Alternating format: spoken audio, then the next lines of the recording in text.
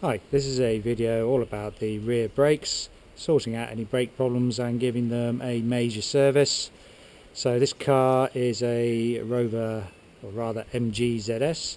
Same sort of brake system is used on the Honda Civic, Honda Accord, Rover 2545, MG, ZR, ZS and probably quite a few others.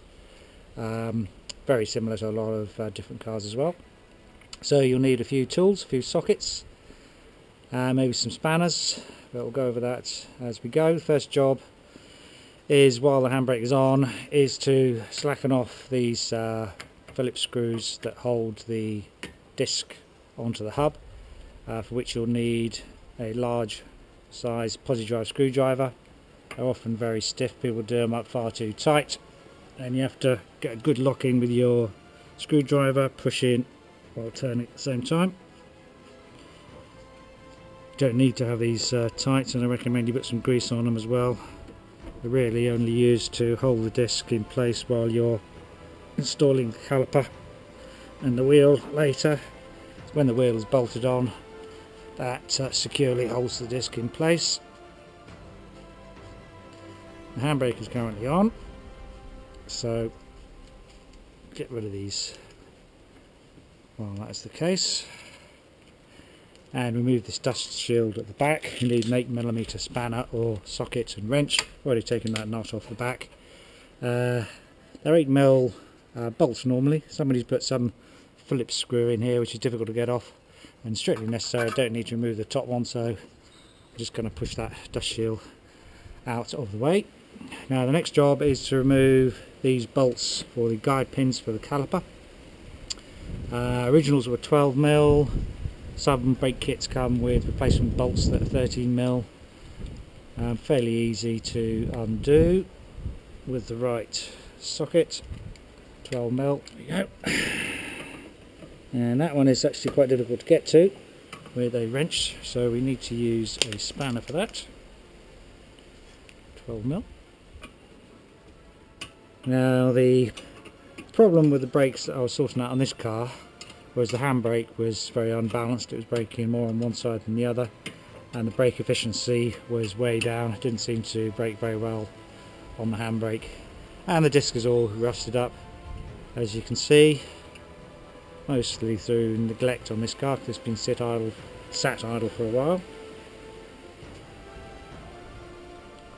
So we can slacken those up and uh, might as well remove them, doesn't matter too much.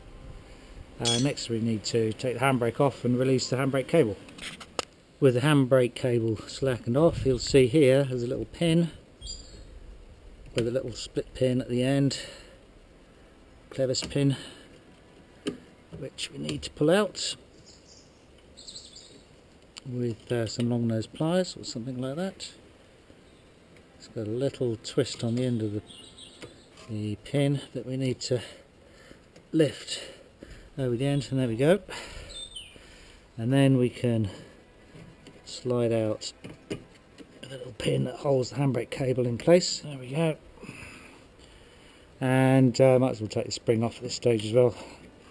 Again, I don't think it's absolutely essential, but in case there is any uh, problem with the spring, it's just a matter of leaving that spring out of the hole and that will come off. That's the position it goes in. Check that uh, handbrake cable works and the handbrake actuating mechanism is working, which it does. So, the brake pads are a little bit stuck on. Uh, does just about move probably the pads themselves are a bit rusted so uh, next we'll lever off the caliper now that we've taken our bolts off gently push it off. Like so. We don't want to stretch the hydraulic pipe flexible pipe under here, under here. so uh, we want to support the weight of the caliper. What we can do I think is wedge it slightly higher up like so. And the flexible pipe is not under too much strain then.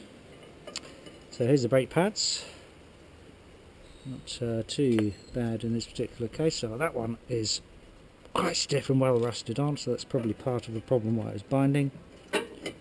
So we'll just lever that off.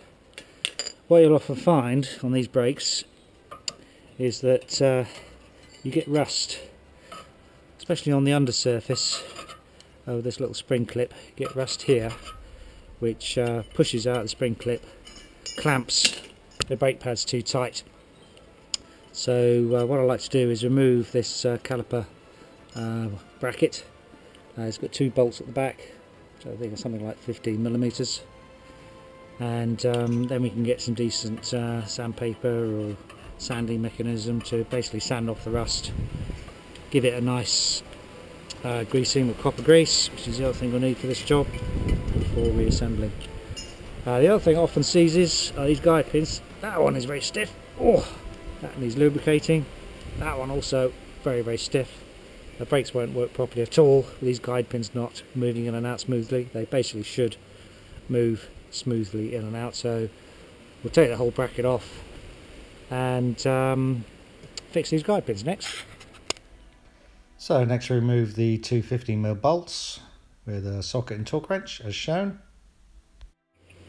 So with these two bolts removed you can then, then remove the bracket and you'll see with these two screws removed you can then remove the disc if you're changing the disc then that's how to do it um, here disc isn't too worn so we're just going to try and remove the rust, clean it up and make it uh, suitable for reuse.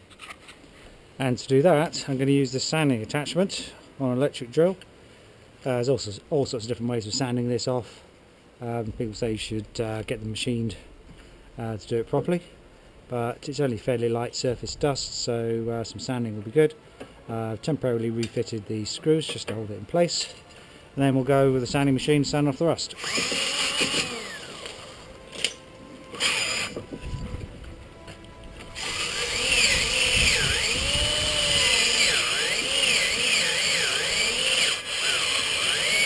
most of the rust has been removed. It's a nice, uh, fairly flat surface. Doesn't look as pretty as a new one, but functionally it's good enough. Then we can turn it over and refit the screws to do the other side.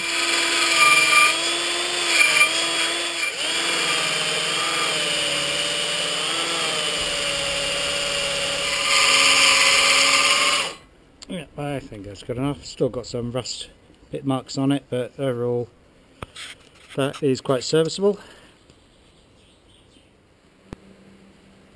On the question of the caliper that might be stuck, then uh, you could completely remove it if it's completely stuck by pushing on the brake pedal to push it out and see one of my other videos for uh, lubricating and uh, freeing up a brake caliper. But for the moment although it's quite stiff um, I think we're just going to try and lubricate on the inside and wind it back in so to lubricate on the inside and I've started a little bit already. Push back the rubber get a little scoop of this stuff which is uh, rubber grease. Looks after all the seals looks after the rubbers and lubricates as well. And uh, don't need to push it in all the way around because we're going to be rotating this uh, piston in the caliper to actually be able to uh, push the piston back in again unlike the front calipers the rear calipers you have to wind uh, clockwise to uh, wind them in. It's tricky now because it's getting very slippery. Anti-clockwise to wind it out. So uh, just try and push some of this grease in. Taking care not to get any grit in there as well just a little bit difficult. Just have to clean up beforehand. I think at least we've got some in there. I think that'll have to do. Clean that up a bit. And what you then need to try and do is to get a flat uh, blade or a screwdriver get it in these uh, slots and try and rotate the uh, piston to get it to turn. This one is uh, particularly stiff and uh, only option really is to try get a screwdriver in this way something that will attach. I think there are special tools for uh, winding these back. You can buy it from the part shop. Um, you might be able to make your own tool up as well, which I might just have to do here.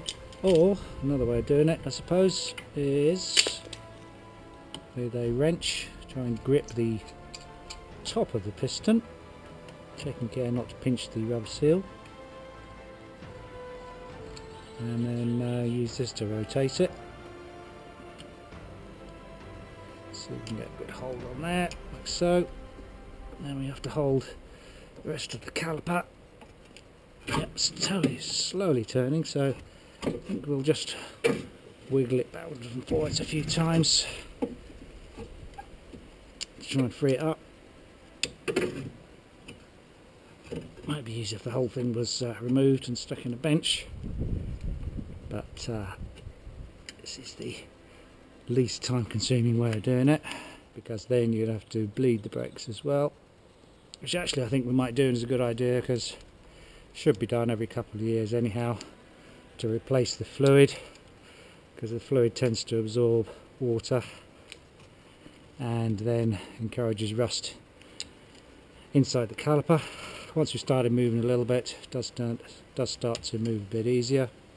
As you can see now and it is starting to wind back into the caliper. Probably now do it with our screwdriver. Need to wind it back in because it's going to fit new brake pads and uh, should cost thicker than the old ones. So we need to allow more clearance it's good to get that grease moving around the piston as well. I might be able to do it this way. Right it's still quite stiff. So as I say quite difficult without the appropriate tool. Uh, not actually impossible. So next we clean up the caliper bracket and the guide pins. So we need to clean off the rust and uh, try and free up these pins. So you need to get a mole grip, grab it on the end, try and lever it round and round. I'm pulling it out at the same time. See this one's very very dry because the seal hasn't been fitted properly. And then you need to clean it up. So it's heavily rusted, that's why it keeps sticking. Get a screwdriver, rub them down, scrape all the rust off. This particular case it doesn't matter the, whether you uh, score it or not because there's no particular great seal on this piece of metal.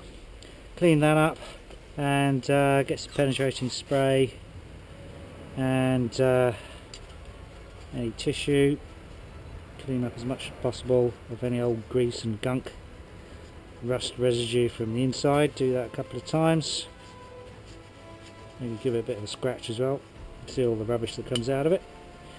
And once you've cleaned it up which I haven't done fully yet but check it uh, slides smoothly. And then we'll reassemble and lubricate in a minute. We also want to clean out this little slot where the rubber seal goes which is all gunked up.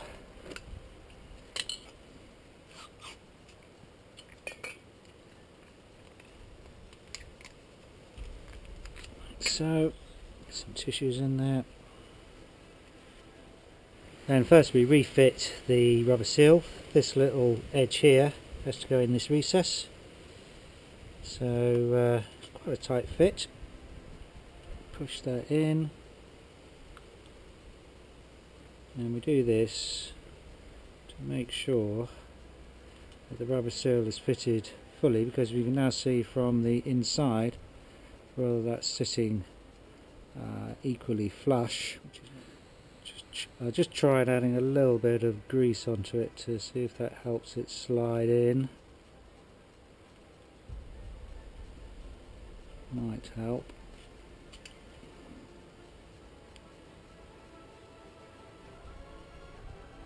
It is, this is one of the more difficult ones that I've had. Just a small lubrication on it. See if that helps. Turn it as we fit it. Which we can now do, and that has actually helped You can now check on the inside, hopefully you can see that, that it's now an even shape all the way around the inside. So that's obviously the key, add a bit of uh, lubrication first. Uh, I like to use uh, this Moly grease. When these are originally made they come with some sort of graphite, uh, graphite grease inside. Moly grease is pretty similar, probably doesn't matter what sort of grease you use. And uh, I'm going to push a bit of grease in there a couple of times. Maybe rotate to give it a chance to release the pressure. Let's see if this is going to work or not. Okay so we finally managed to uh, get the pin stay in and the seal to stay in. That's uh, that's that one done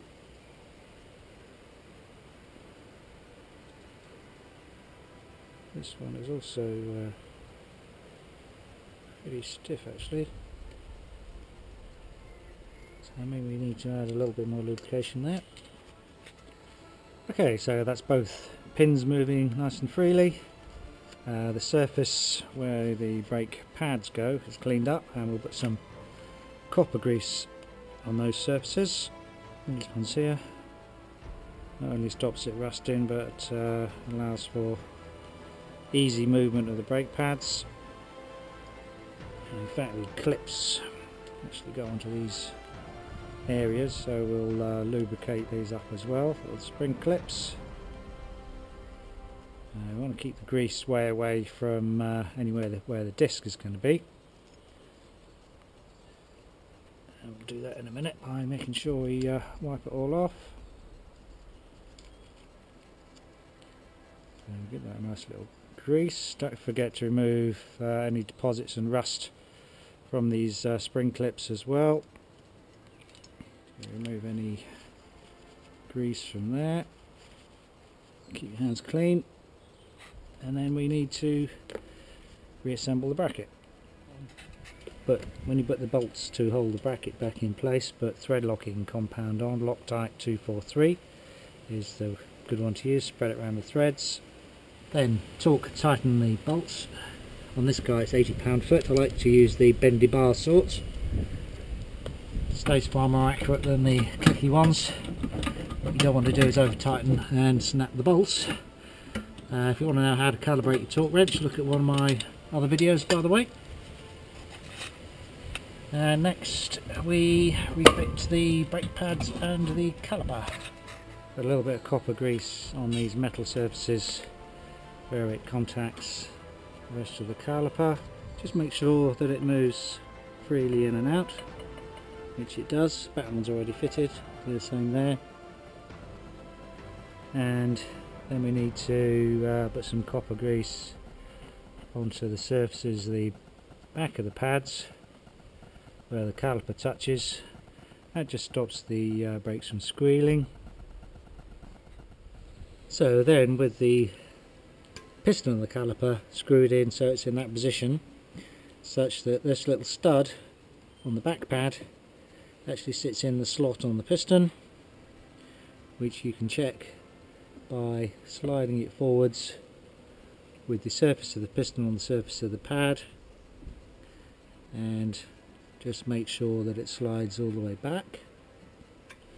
After you put the caliper in position uh, press on the brake pedal a few times to bring out the piston and the caliper to engage the brake pads and then you can just look through a little hole in here just check the uh, slot in the piston is at that position where I'm pointing there and also that the surface of the piston is sitting on the surface of the brake pad which I believe it is there so our little stud is in the correct position and then put these new bolts or reuse the old bolts and put thread locking compound on these new ones already have it installed. And uh, then we just need to put the pin back in the um, handbrake cable onto the lever. And we're nearly done. They're refitted, uh, you should be able to just turn on the handbrake uh, actuating lever and be unable then to turn the wheel. So we'll leave it unturned and unactivated, you can turn the disc and then just twist the handbrake lever. It should then be fully on off and turns on and activates. So the handbrake is then working well. Then we just need to reattach the little pin. Apply a little bit of copper grease onto this one as well just to keep it all nicely lubricated. Fit the spin before we fit the spring obviously. Otherwise it'd be uh, difficult to get it in place. Then we have our little locking pin. So just need to find the hole in the end. Need to push that home. And it's locked in place. And then for the spring what you need to do is get hold of pair of pliers. Onto the end of the spring. Lever it into that little slot. Hey presto. Job done. So that's all the brakes all reassembled. And uh, should all work nicely. Okay. Thanks for watching. Job done. Oh one more thing of course. Don't forget to refit the dust shield. And of course a little bit of uh, liquid paint makes it look a bit better. If you fancy doing that use uh, special caliper paint. That finally is the end. Okay thanks for watching. Bye